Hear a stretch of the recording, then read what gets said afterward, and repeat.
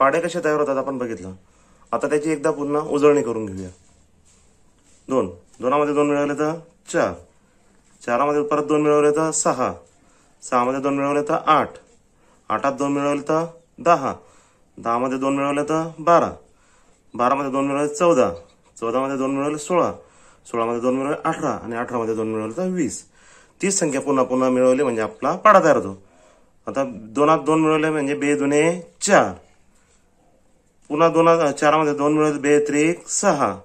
बे चौक आठ. बे पंचे दहा.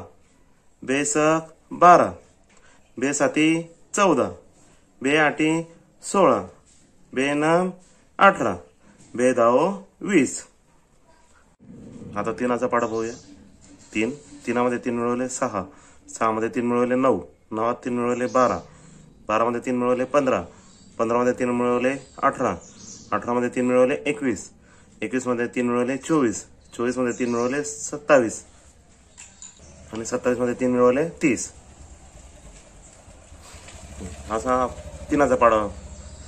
तीन एक तीन तीन दोन सहा तीन त्रिक नऊ तीन चौक बारा तीन पाचे पंधरा तीन सक अठरा तीन सात एकवीस तीन आठ चोवीस तीन नऊ सत्तावीस तीन दहा तीस.